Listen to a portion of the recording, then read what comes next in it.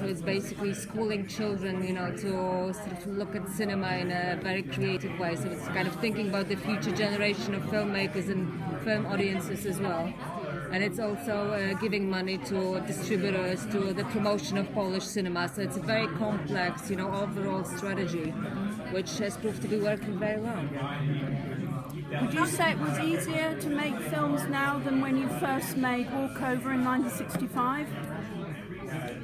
It is e- easier and it's much more fair, you know, because uh, we are not the subject of any political uh, pressures, you know. At the era of the communism, we were trying to maneuver in between the lines of censorship.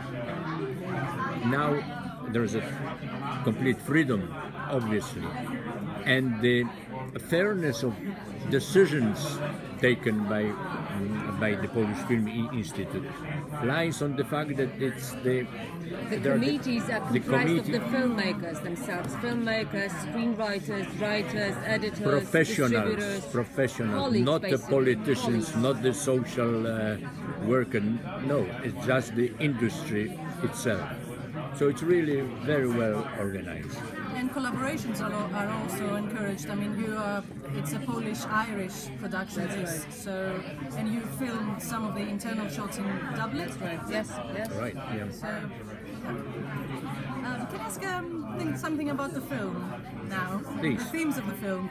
Um, there is this you you film it from every possible camera that is available today. So every sort of image there is today, from uh, the tablet to Yeah. the original drawings. So, and the final shot is something like um, something that I would interpret is, is, is surveillance now the all-knowing divinity that knows everything.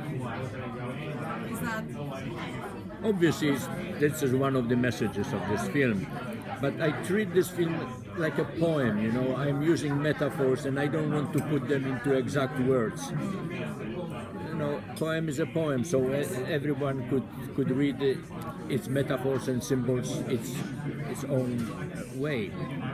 But uh, yes, you're right. This is one of the one of the subjects of the of the film. But you do have a clear image of a man in a suit, in a computer.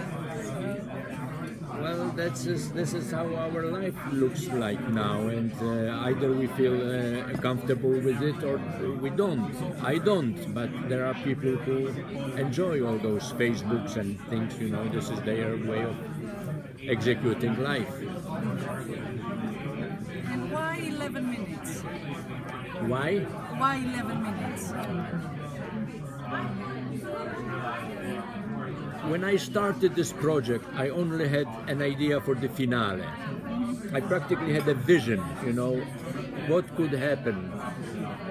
But I didn't know who are the pro- protagonists, who are the people. I only had this, and I thought this would be wonderful end for some film. So, in order to, to make the film, I had to work backwards and create the, the, the, the palette of the characters, establish where they are in the different parts of town, and get them together at that very same time to that very place.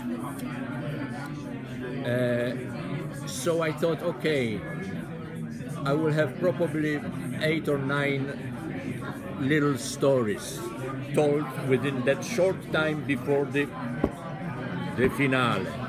So I thought having eight, eight or nine stories, each of them, if takes around 10 minutes, it will be just 90 minutes film plus finale. That's perfect size.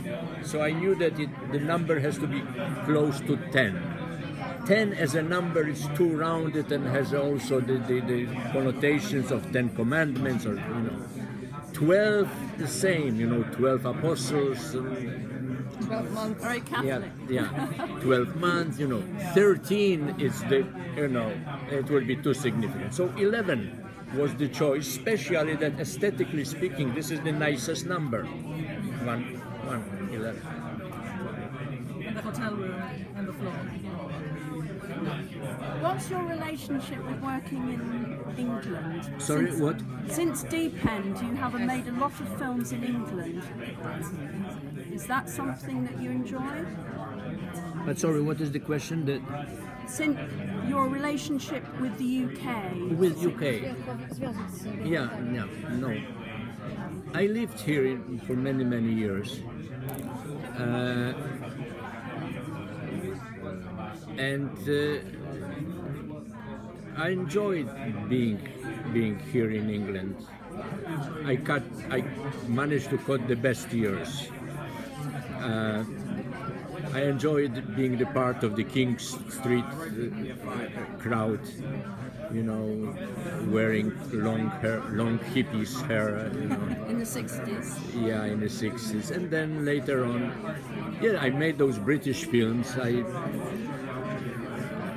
some of them were uh, were voted the best British films of the year, like Moonlighting in, got the Evening Standard Award in 1982. Uh, know, Prince Charles was shaking my hand, uh, Queen was shaking my hand. I felt fine, you know. It was a good good time. Then I had to leave London. I went to Hollywood, and uh, now I'm back from time to time. I always en- enjoy coming to, to, to, to London. It's a, it's a part of my life. Because you have so many What's stories. this? Cream cheese with salmon. Can I? Oczywiście, że tak. Bardzo proszę. Uh, sorry. My question was, you have so many different stories. There's no one lead actor or actress. How easy is it to ask actors to be involved when they're not going to be the star of the film, which is one. They, What, how do you get actors involved when Yes. they are not going to be the lead main star? I'm honest with them, you know. I said I have uh, eight stories uh, and 15 characters, and you would be one of the 15. So, and they all gladly uh, uh, uh, accept. They don't. Well, there was a little bit of a fight who's number who is on the top of the of the of the cast, you know. But everyone was reasonable and understood each other's needs and we had a very very good cast you know. Uh, this is, those are the top polish actors. We have richard dormer one of the best irish actors. Excellent in the part he's he's, he's playing. I'm very happy with with, with, with him. He, he has done his own stunts can you imagine? Really? well, it looks different, you know, when you see the guy going down and you see that this is him, not the stuntman who is just covering his face and for a glimpse you cut shortly to have a face of the actor. No, it's him falling and falling and falling, and we can look at him. He reacts. Yeah. You work a lot with Jeremy Thomas. Tell us about that. When you finish your Yeah, yeah. I need nothing.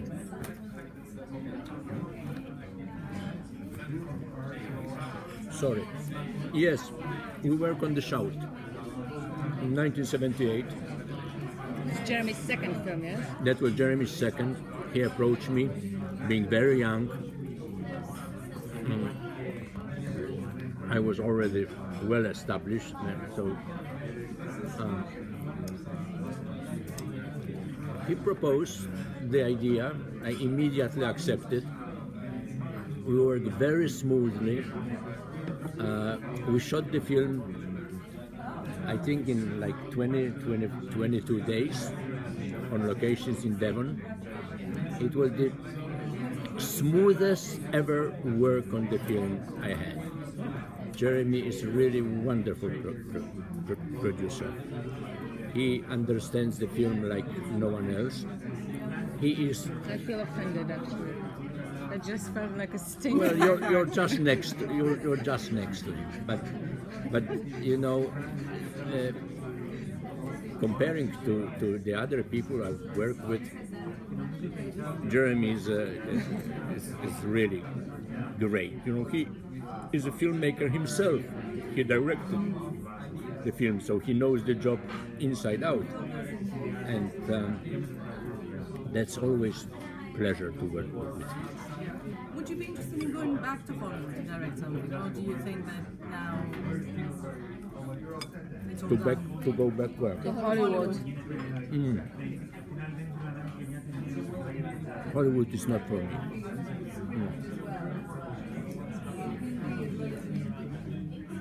Although we already have a question about a remake of 11 Minutes from Hollywood. How's the film been received in Poland? Hasn't been received yet because the, the opening night we have on the 20, 21st of October. 23rd of October. It was just uh, a couple of screenings. The public, you you know, got it very well. There's a few journ- Polish journalists who went to Venice and reviewed the film, so so these were very good reviews. Hmm. Excellent. But then the film was screened in Gdynia, and there was a, a couple of very bad ones as well. So I, I think it's a very divisive film. You know, there is no in between. There is no lukewarm reviews. It's either a- a absolute love or like a really passionate hate. Why the passionate hate? Uh, people, uh, there's one journalist uh, which is like working on the internet who said that it's just like a big bubble. This film, that it's about nothing, it doesn't mean anything, and it's not new, and that the films like that were done before, like Magnolia, like uh, uh, Altman, and this, there's nothing new about it. Which, um, yeah, Very surprising. But that was the only one. yeah. Yeah, but you only remember the bad reviews, though, don't you? Usually. Oh yes, I have them pasted up on my, you know, desktop in my computer. But technically and narratively speaking, it's brilliant. It's fresh and modern. Yeah, that's. Yeah, and I think it works on a very different level than those films because those films were trying to build a narrative stories, and this one, you know, the tension is not within the stories themselves, but kind of underneath in the texture of the of the filmmaking, which is which, which is never never never which was never present in those films. So, yeah. You said you worked backwards. You had the ending first. Yeah. So when you worked backwards, um, did, did it flow easily for you? Did the stories come easily as to how you got to that ending? Well, I can't say it was easy or difficult. You know, I knew that I had to do this job in order to have finale. So it is very unusual way of working, obviously. But I don't know if it was helping or not helping or make it more difficult. In a way, it already organized my work. I knew, okay, so many people, those places now, I have to use my imagination how to get them. So when I have a courier on a, on a, on a bike, it's easy because, of course, he would go to one client, second client, then arrive here, okay, done. Then the hot dog seller, okay, he should be working in the neighborhood and in a certain moment, for certain reason, he has to move his chart here. Done. A wife who comes for the for the audition and the husband who follows, done.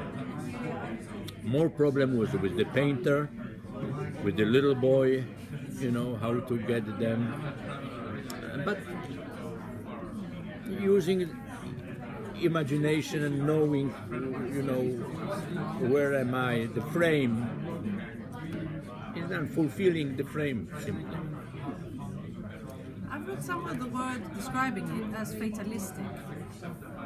Would you agree with that? That it was, Fatalistic. Fatalism. Would you agree with that? In a way, yes. Yeah, well,